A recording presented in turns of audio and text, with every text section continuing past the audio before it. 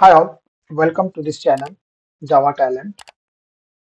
In this video, we are going to learn how to secure our REST API using Spring Boot basic authentication and authorization. Okay, so let's start. Let me create uh, one simple uh, Spring uh, Boot project. So let me create one new project for here. So Spring Boot security. So let me create this project. So you can take any version of the Java, not an issue. The Spring Boot security example.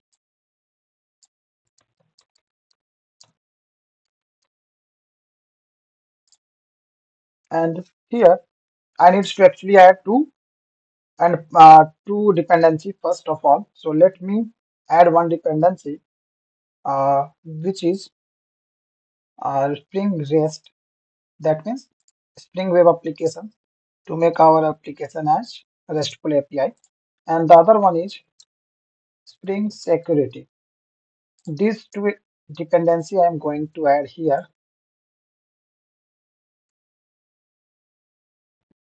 So once you add the dependency, you can just check whether that has been implemented in your application or not by going through this pom.xml file. Okay, so once you open the pom.xml file, so you can see here Spring Boot Starter Security has been added as dependency and the other one is Starter Web for our RESTful endpoint.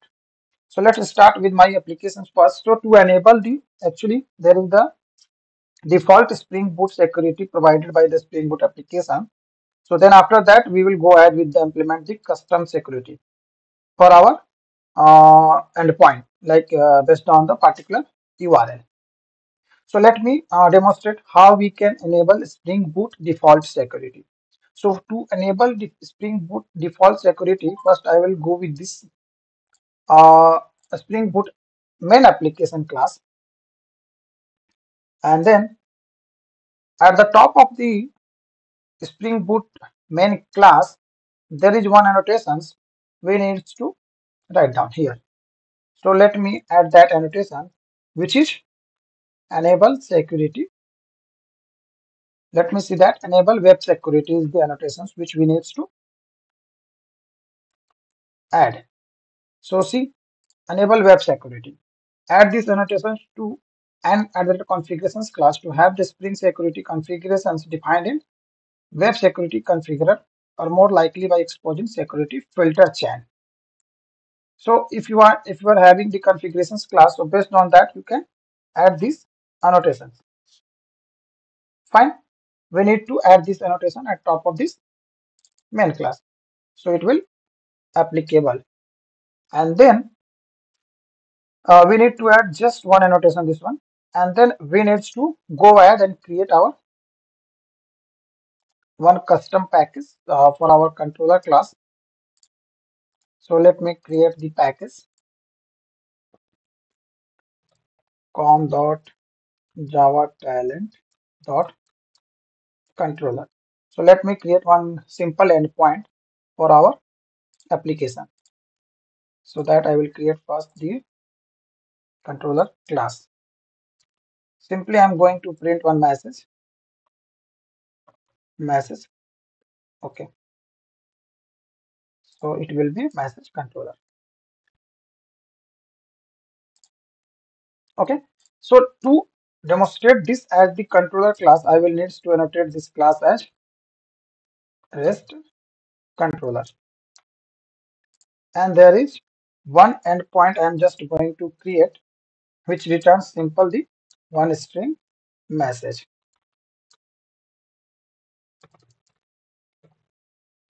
Any method you can take. And then it will simply return that message.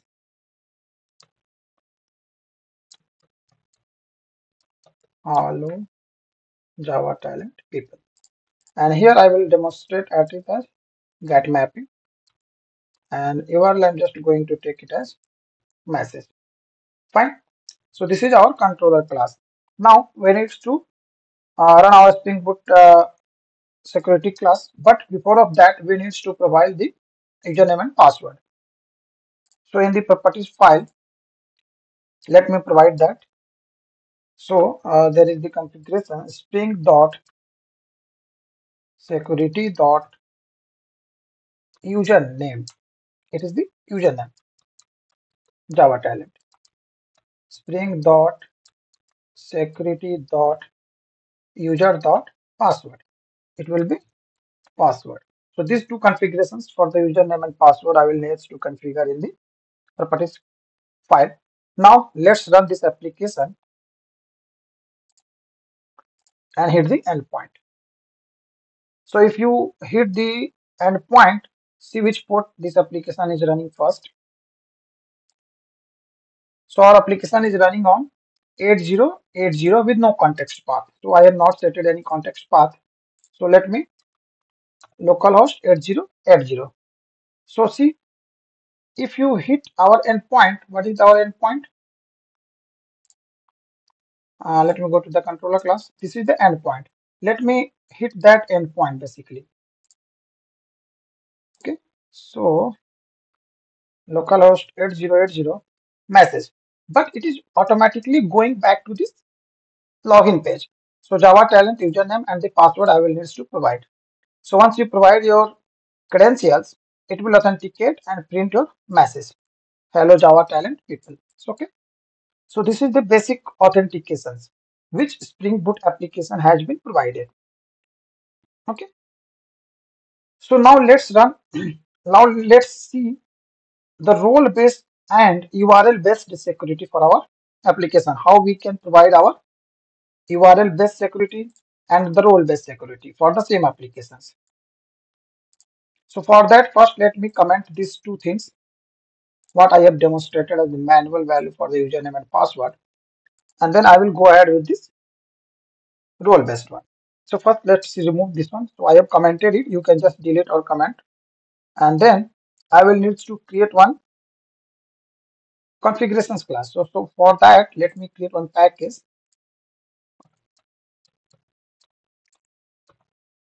Java talent dot config. This package i'm just taking for the configuration class. And then let me create one class which is spring boot or spring security config. Okay so this class must be annotated with this address configuration. So this will become the our configuration class.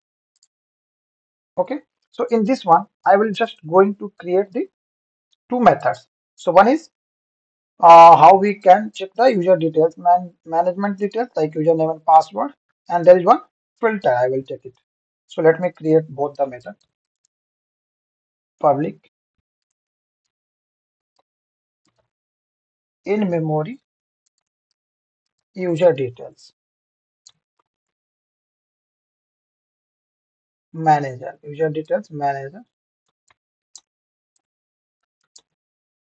in memory user details manager. So this is the type of the class i'm just going to return it. And then i'm just going to use user details service. So this is the method i'm just going to get it. So i need to create the user details. Basically user details user is equal to user dot with default password encoder. And uh, then then username. What is the username? Simply java talent. You can take any username and password. Password. Java talent and roles. I'm just going to take the roles as user for now and then build method. And then simply return new in memory user details manager of that particular user details whatever the users details we have added then I will take it. Okay? So actually it is showing that it is reflected reflected. So it is a deprecated value. So in place of it we can use the other user details service method. Okay? And at suppression forwarding it is showing that configuration problem. So for now it is fine. So let me go ahead. And then i will create one more method. So to this one make this as the bean. So i will annotate this method with the bean at the bean then one more method i will create. Public security filter chain. So this is the basically filtering our requirement based on the criteria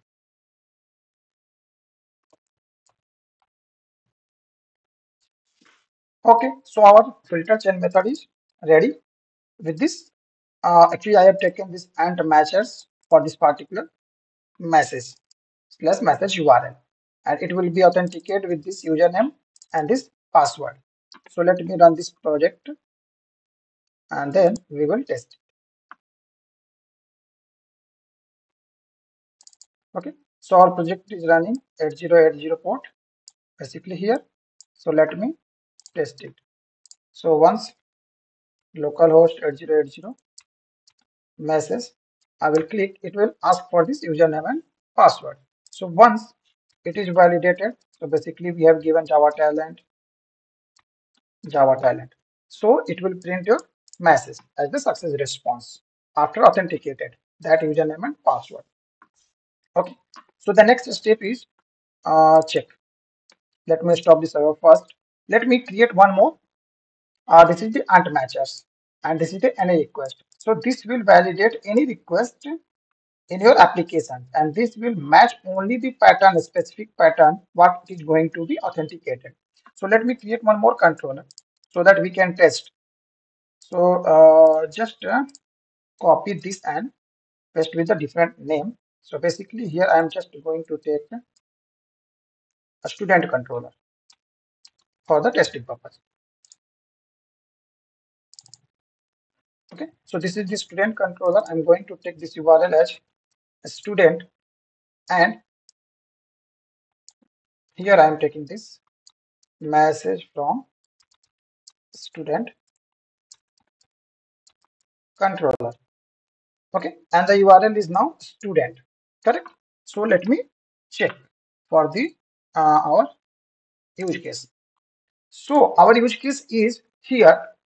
This will validate. Uh, let me go with the any request first. So for now i'm taking this any request. So whether i'm going to uh, access message url or the student url it will be authenticated. So let me test it